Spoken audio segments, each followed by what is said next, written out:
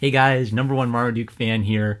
Uh, I'm home. I have survived coronavirus another day.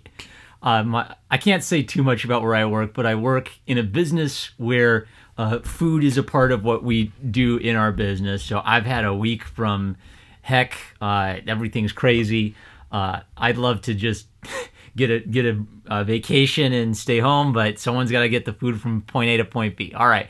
So I got home ready to draw, and I wanted to listen to an audiobook. I'm not going to name the audiobook and the actor because I don't want to embarrass the actor. I did write a very negative review, so just in case anyone buys this audiobook from Audible, uh, hopefully that'll give you warning.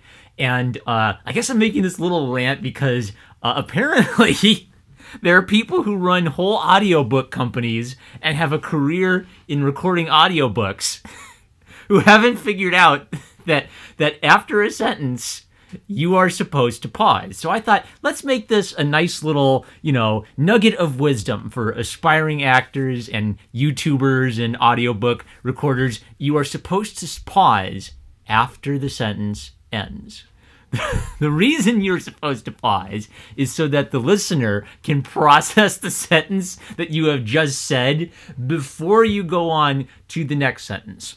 Now that wasn't the only annoying thing about this audiobook. Uh, the the reader also had like this ten. There's this tendency for some book readers. They're either really good and they're really good at reading a story, or they think that an audiobook reader is supposed to be very very serious all the time. So everything is it was a dark and stormy night, and she went in, and she felt happy, and her kid said hi.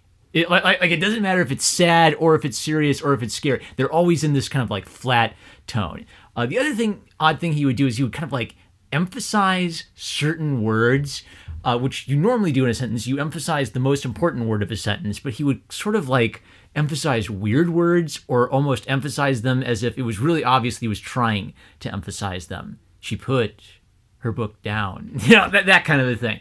But the worst thing, of course, is no pauses, right? And uh, when someone's excited, like I'm excited right now, you start running your sentences together a little bit fast, but normally you like take a breath and slow down. And when you combined all of this together, it was this really surreal experience where she got into the car and saw. I, I can't even fake it. It's really it like you would have to be trying your darndest to read a book this badly. I wonder if I've just got a book lying around. All right, I'm just gonna like open up National Geographic here so I have some text and try to convey to you what this sounds like. Because once you hear it, it's easy. The oldest known root on the bird family tree is the raven-sized Archaeopteryx, a 150 million old animal that bore a telling mix of attributes, while all today's birds are toothless. Its spotted claws on its front limbs and a long bony tail. These traits are lost in birds and instead reveal close ties to its more reptilian cousins, such as the Velociraptor of Jurassic Park, famed by Archaeopteryx, had characteristics of modern birds too.